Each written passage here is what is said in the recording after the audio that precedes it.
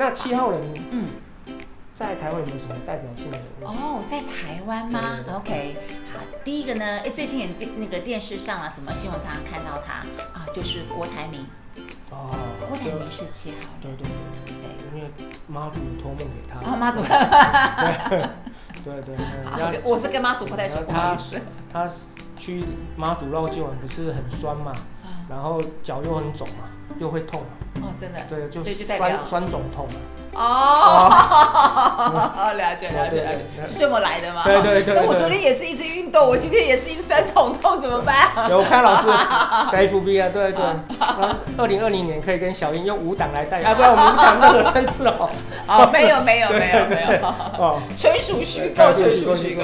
好玩啊，我觉得好玩啊。对对对。对一些乡民的一些突发奇想真的蛮不错。对。像这种突发奇想应该属于三号吧？应该是，应该是啦所以我是被你影响，因为我没有三。这样子对对对你看我们讲到一个东西，可以马上切入一个数字里我觉得蛮不错。对对啊，对这这是人的观察。好嗯，那你讲到七号的代表人物是郭台铭，对，啊，那他的特质特性，有些可能让大家了解一下。嗯，好，应该是会比较在意成本问题。好，摘成本，对，我看他广告毫不手软。啊，它的价值在什么地方？目的在什么地方？应该是这样子。那我们反过来说，为什么它能够有这么大的一个王国？对，它是不是也是很在意的？就是比方他会去分析市场上面，好，或者是说，嗯，什么地方呢？什么产业或什么股什么这个企业，它可能现在呢比较需要资金的溢入，它可以趁这个时候把它承接起来，对对对等等的哈，这些时候都是要需要靠精算，嘿嘿嘿哎，所以它就是比较容易精算成本啦，知道怎么样去赚到钱，是。对，哦，因为他表面上所统计出来是说七号代表人物就是波董嘛，对，哦，那但是我相信他就是像我们老老师讲其他的盘应该会影响到他一些所做是所为。是，哦，你看他投入那种大笔的金钱，我对。现在没有任何政政治的一些，对，我们纯属做分析哈、还是。投入大笔的资资金嘛，嗯。在广告啦、嗯。效益上，但是对。问题是，他所获得的东西对，是没有初选没有上上去。哦，那、像我们我们刚刚讲到七号人，他是会针对一些事情有没有成效性，对哦，他会做一篇嗯有成效性。对，没错。啊，多龙如果这样子没有成效性的东西怎么办？呃，还是说他觉得他应该有？坦白说，这件这个故事还没有看到结尾，哦对，也所以我们就拭目以。待，对不对？啊然后哎，它后面还有很多的观众，发展性我等。下会开个盘。哦，我们会开个盘这样子。哦，那私下来再私讯给我。啊，对对，因为你知道我比较不喜欢公开的看。对对对对对 对，好好好，OK。好哦，没问题。哎 那那你看老师我们要对讲金就是，哎，对于钱的敏感度对会比较高嘛。对，没错因为错，刚刚老师讲说七号人就是省小钱花大钱。花大钱，对，对不对？那我我们怎么样去避免？如果因为像我也拥有七号人，嗯我去省一些可能说什么叫省小钱？哎，可能我我要买一个包包，可能不是说对夜市的品牌不好，嗯因为我觉得它那个效用性可能嗯，用了一两年可能就坏掉。对，我倒不如去买一个好的包，嗯。我可以撑了四五年，对。然后带出去有质感。对，好像我今天又买一个 Polo 包，嗯嗯，那个也三千多块这样。子然后因为我觉得，因为 Polo 包我觉得也蛮耐看，也蛮实用性的，而且我前一个 Polo 包大家也用了蛮久，嗯，我觉得一对，我干脆就是花一个钱，我买一个品质比较好的，没错没错没错没错哎，这个以前学员也曾经跟我讲对过。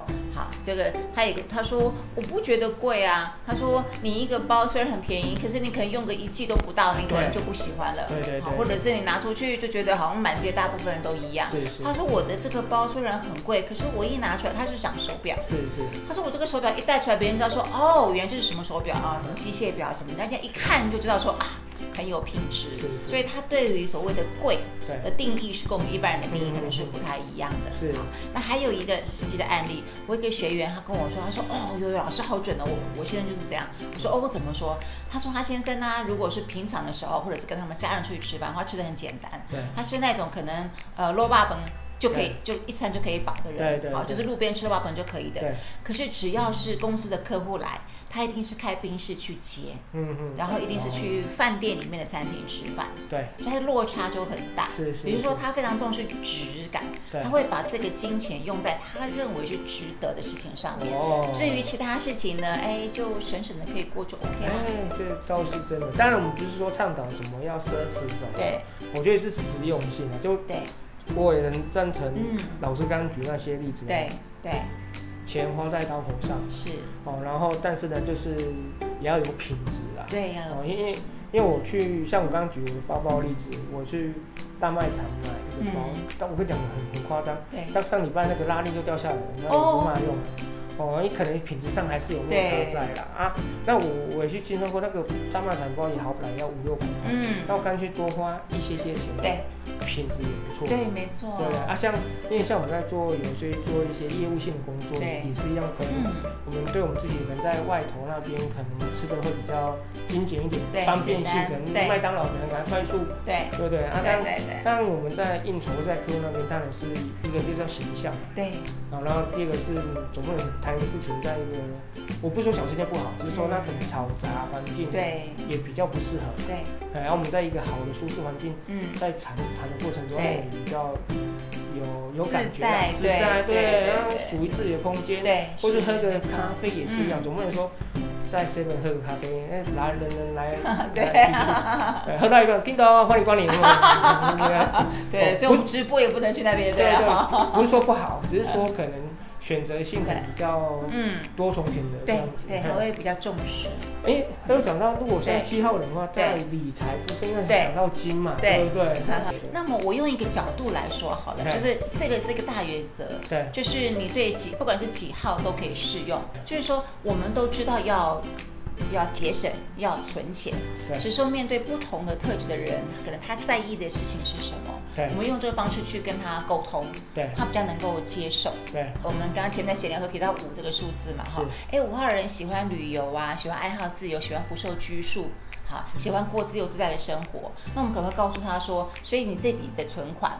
为的是让你现在这种喜欢自由自在的生活，就是一年可以出国玩个几趟啊，这样子的，这样生活品质在未来不会被改变，对能够持续保有这样子一个生活步是调。是，然后一为了这个目的去做一个这个存存钱的动作对，因为一般而言，大部分人会觉得存钱是一个比较痛苦的事情嘛。因为他现在明明这钱是我的，为什么我不能花？对不对？那种感觉好，那回到七号人的特质上面来到，因为七号人他其实很在意的是一个所谓的品质，或者是质感，或者是我表现出来给别人看到的样子。那么七跟八其实都一样哦，都有这种特质，就是呢，可以告诉他说，你现在这样的存款的目的是为将来能够当老板。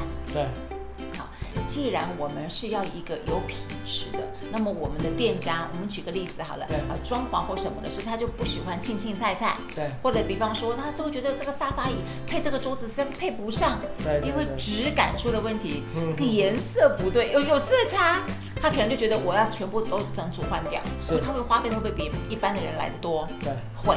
既然你想要未来开个有质感的店家的话，你现在存钱动作说过这件事情，对或者是如果他是八号人或八座权的，他的存钱的动作，为的是将来他能够自己独立创业。嗯嗯嗯嗯，因为像八的特质的话呢，我很在意的是就是那种呃怎么样尊荣性。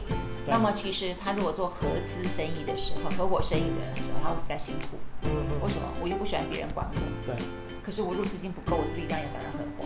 这就遇到一些冲突点。对对对，OK 好，所所以不晓得这样的回答 OK 吗？OK OK OK OK OK 强迫自己储蓄啦。对哦，那强迫自己储蓄有很多种对，哦，例如说银行的定存嗯哦，或者是买所谓的储蓄险嗯哦，或者是我们个人的风险，如果说还可以挑战一下的话，就对是去外面买基金、买股票。嗯哦，但这就是要针对自己属性去做挑选适适合自己的。对，因为老师也跟我合作，我们就在一些公公益团体里面有上过课嘛，就是对，利用这个生命因素分析去分析你的理财的特质。嗯就是在下一次我们的单元，我们会开辟这样的单元。好哦。好好，然后我也会邀请一些在市场上嗯一些知名人士来跟大家分享一些可能，诶、存钱的方法啦，或者是效益性怎么样去去衡量那些。好，哦，然后请大家是那个拭目以待。对对，好，谢谢 我的话，那我们七号人就先到此好为止哦。，OK，好，如果有问题的话，